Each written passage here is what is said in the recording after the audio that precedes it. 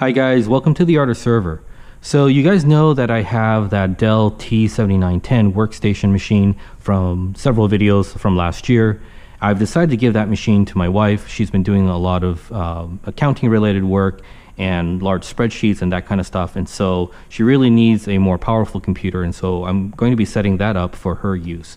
So in place of that, I've decided to get myself a HP Z840 workstation. So this here is my Z840. And you guys know my son has a Z800. I've also put together some Z820s for my friends, but I've never actually owned a Z8 series uh, HP workstation myself. And so I decided to get this Z840 for myself and this will be my primary uh, editing workstation and all you know basically my, my main desktop machine. Now as i was looking over this machine i came to a realization that this actually makes for a wonderful first server. Now one of the things i do a lot i spend a lot of my day doing is actually answering a lot of questions from people on ebay through the social media outlets in email I get a lot of people asking me, "Hey, I'm about to build my first server. Uh, is it you know good for me to use this or that? Should I turn my gaming PC into a server? Should I go buy a, a whole rack setup and buy some rack mount servers like I often show in my videos?" And you know, everybody's situation is a little bit unique and different, but I really think that if this is the first time you're getting or thinking about setting up a server for your home, this makes for a wonderful platform to do that. And one of the things is that, you know, not a lot of people have a server rack in their home. And so, yes, you know, it's exciting and fun to go set up a server room in your house and install a bunch of rack mount servers and with some enterprise gear. And that's all great, but it, it's a pretty big investment and uh, not just in the cost of materials, but also the time in setting up a, a room properly, you know, cooled and uh, you know, with the, all the rack equipment and all that stuff. And so that can be a little bit daunting for some people. And some people have, you know, they might live in an apartment and or some other place where they don't have the room to install a server rack. And so if you don't have a server rack, but you're thinking about putting together a server in your home, this platform is really a great combination of all that stuff because for, for one, it's a desktop platform. So you basically can treat it like any desktop PC. It's a little bit bigger, and this particular one is actually really heavy. I think it weighs like 50 pounds, but it's a very nice design. And so it's really kind of an oversized desktop PC, really. And so if you already have a computer in your home, you know where to put this, right? Like you don't have to find a dedicated closet, a server rack, or anything like that. You can basically put this, you know, somewhere that's accessible, but you know, you don't have to find a special place for it. But on the other hand, the internals of a machine like this is full of enterprise grade gear, right? Xeon processors, lots of memory banks, lots of PCIe lanes, and, and potentially lots of storage uh, capacity. So, anyway, as I was looking at this Z840, I just kept thinking about all the questions I've been answering over the years, helping other people set up their first servers. And I thought, you know what? I really want to kind of showcase this machine and let you guys know that you know, if you are building your first server, or maybe a second server or fourth server, whatever it is, and you really don't want to go with a rack mount solution, you know, you're kind of you have a little computer lab at home or whatever, and you would prefer a desktop format. This makes for a wonderful machine to do that.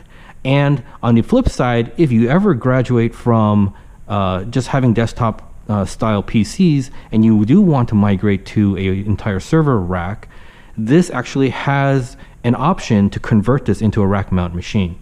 And so that's again another reason why I think this is a great starter. It also allows you to transition from a kind of desktop PC format uh, setup to a rack mount setup as well.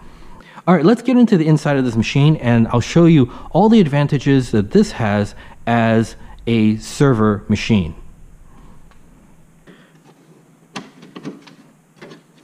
So one of the things I really like about these workstation machines is that mechanical engineering is absolutely superb. So just as you saw, opening the side panel was very, very simple. It's a very solid mechanical action here with this lever here. All right, so as you can see here, this is the inside of the HP Z840, and this is very similar to the Z820. It's actually almost identical to the Z820. It's also very, very similar to the Z800 that you guys have seen in the past. All right, so this chassis has a three uh, airflow zone design. There's the top zone, which brings in air to cool just the power supply. There is a second central zone that cools uh, primarily the processors and memory. And then there's a third zone that cools the hard drives and any PCI cards that are behind this cover here. Okay, so one of the things that I think is great about this uh, workstation machine uh, for a server application are the uh, hot swap bays. So there are four hard drive hot swap bays. This one has a two and a half inch adapter in it, but these are primarily meant for three and a half inch drives. So if you are building a Plex server and you're storing a lot of media, there's plenty of room for you to put in some very large capacity SAS or SATA hard drives to store your large media content. Now, there are four bays here. These are all connected to a onboard LSI uh, SAS controller that can be converted to IT mode for those of you who want to use ZFS or Unraid. But in addition to the three bays, we have two five and a quarter inch bays, and you can add one of those mobile rack uh, trayless adapters that will allow you to install three more three and a uh, half inch drives as well. So you can have a total of seven three and a half inch drive bays. And so that is quite a bit of storage, especially now that we have uh, 16 and 14 terabyte hard drives. There is going to be plenty of space for you to store a lot of large media. But there's actually further expansion that I'll get to in a little bit here as we open this up. All right, so to open this machine up, first we open this cover, and again, the mechanical design in these systems are superb. There's uh, almost almost everything you need to do in this. Uh, it can be done completely toolless. And so I've opened up the cover to the PCI slot. I don't have a lot in this machine right now. This machine is uh, still in the process of being set up. I will be making a series of videos showing how I set up this machine for my workstation uh, uses. But anyway, I just want to show you guys what we have in here. So in this machine, there is, I believe it's this chip, if I'm not mistaken, is an LSI SAS 2308 chipset. And so as you guys know, that is a SAS 2 6 gigabit uh, SAS controller. It will accept SATA drives. All SAS controllers can work with SATA drives. And it actually uses, instead of normal SAS connections, it uses these eight uh, SATA connectors. And you can see that the first four here are labeled uh, bays 0, 1, 2, and 3. And these basically connect to the four bays here. And like I said, you can add three more bays to the two uh, five and a quarter inch uh, bays here and simply connect them to the uh, remaining um, uh, SATA ports here that are part of that SAS controller. And so you can expand to seven. Now you can actually expand further outside the chassis. This, this machine is designed to accommodate an external SAS port right over here. And so you can connect that to these four ports as well for a JBOD uh, extension. So basically you can run an external SAS cable and through this hole and connect to a JBOD chassis. And in that case, you'd probably want to convert this into a rack mount configuration, which is um, an option as well. So that's one of the primary adv advantages of this type of a machine is that you get hot swap bays. Okay, these are hot swappable bays with um, removable trays, and you can get a lot of them for your uh, large media file storage right? That's one of the things that a lot of people uh, set up a home server for is to, is to run a Plex server to store your um, multimedia uh, files and stuff like that. Okay, so let me pull this massive uh, fan shroud here. This is a wonder of engineering. Um, I call this the the chamber of air coercion because uh, basically, you know, instead of just allowing air to flow from uh, from front to rear, this basically forces the air into all the various places, and it's kind of a brute force design, but it works well. Okay, so here we see the um, main motherboard, and we have two sockets, so you have plenty of CPU uh, compute power in this, and you can start out with one processor. And as your your home lab is growing and you're perhaps uh, setting this up as a virtual machine and you're running uh, various virtual machines, as you need more compute power, you can always expand with a second processor. And in addition to that, there's very high uh, memory capacity in these. You'll see that there are 8 DIMMs per socket. There's a total of 16 DIMMs and you can use some very high capacity DIMMs for a lot of memory. So if you are planning to set up a virtual uh, machine hypervisor, this is also a great platform for that. But more importantly, not only do you get a lot of compute power and memory capacity out of this, but remember in this generation, in a lot of modern compute platforms, the PCIe lanes are attached to the processors. And so in a way, that's been one of the most limiting uh, resources uh, of most computers. So one of the most frequent questions I get from people who are setting up their own uh, server for the first time is that they're telling me, oh, I'm using my gaming PC and I've only got one by 16 uh, PCIe slot for the GPU and I have another by one or by four uh, PCI slots. So a lot of gaming computers, and this is the reason why I really don't recommend people uh, use their gaming computers for server setup is that the resources are just very, very limited. And you'll usually find yourself, if you get into this hobby or you, you find uh, setting up a home server to be really useful, over time you'll quickly kind of realize that your gaming PC's motherboard is really not set up uh, well for a server configuration. You'll run out of PCIe lanes quicker than you would expect. So one of the things that is wonderful about these uh, workstation platforms is that because it has dual sockets, there are a lot of PCIe lanes. And so if you look over here, there are a total of one, two, three, four, five, six, seven PCIe slots. And at least three of them are by 16. And so that's great, not just to install a graphics card for use as a workstation, but a lot of times people are installing graphics cards to accelerate their Plex transcoding right?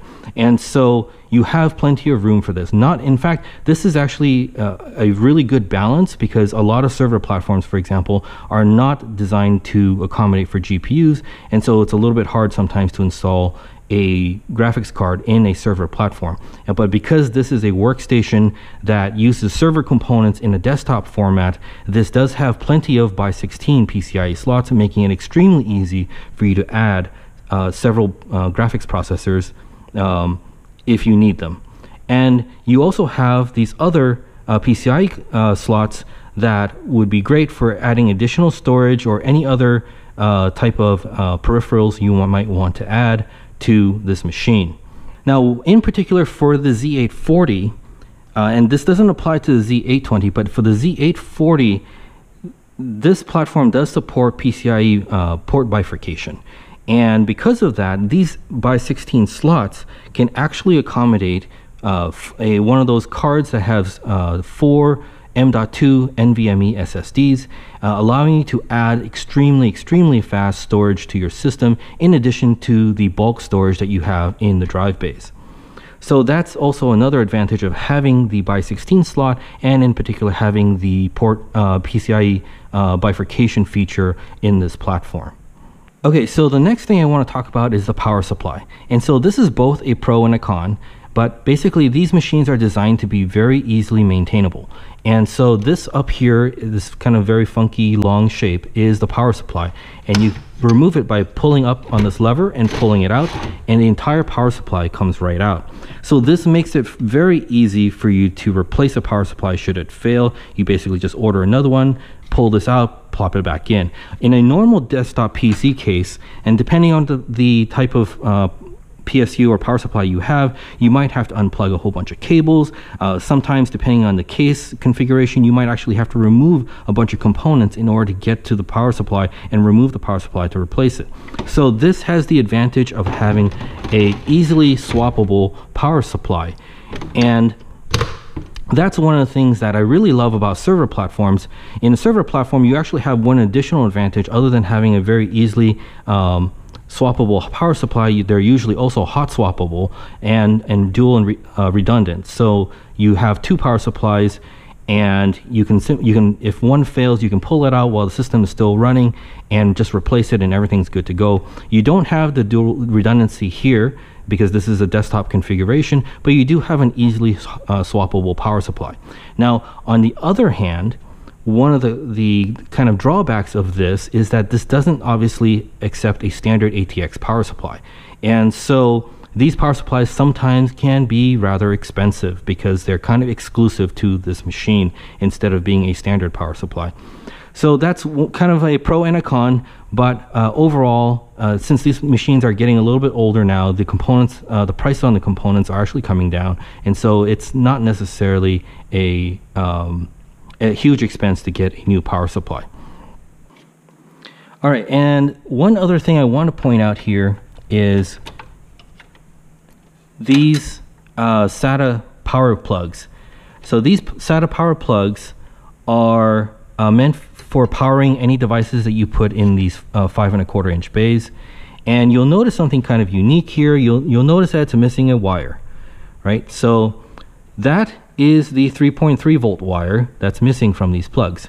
And so if you guys have been uh, shucking those drives from Best Buy or buying any other kind of modern uh, SATA 3.2 drives that have power disable feature, you know that sometimes when you plug the power into those drives, if your power supply supplies 3.3 volts, it immediately shuts down that drive and won't allow it to power on. Okay, this is one of the problems I have a lot of customers uh, contact me about. They're setting up their server for the first time and they're plugging in their hard drives and they're saying, hey, none of my hard drives are showing up. And of course, you know, they bought a IT mode HBA from me, so they're kind of wondering, did I send them a bum HBA or not? And after some troubleshooting, usually we come to the conclusion that it's because their power supply was supplying 3.3 volts to a power disable uh, feature of the hard drives and not allowing the hard drives to power up. So if you're using some of the modern hard drives that have the power disable, you don't have to tape those 3.3 volt pins in order for it to work. These SATA power connectors will work just fine, as well as the backplane power uh, in these four drive bays. So that is again another advantage of using a, a workstation class machine as a server. It basically adds the convenience that you don't have to worry about those type of little uh, gotchas. All right, guys, that's pretty much it. Those are the reasons why I think this Z840 makes for a great server platform for the home. I hope uh, some of those reasons have given you some food for thought. And if you are planning to get a new machine to, set up a home server, I hope you'll consider the HP Z840 uh, as a candidate for your new server build. Alright guys, that's it for today. If you like this video, make sure to give me that thumbs up. And if you're not subscribed to my channel yet, be sure to subscribe. Also, if you'd like to support my channel, check out my eBay store. I've got all sorts of server and computer goodies. I'll leave a link down in the video description, so uh, please go check that out. All right, guys, thank you very much and have a good day. Bye-bye.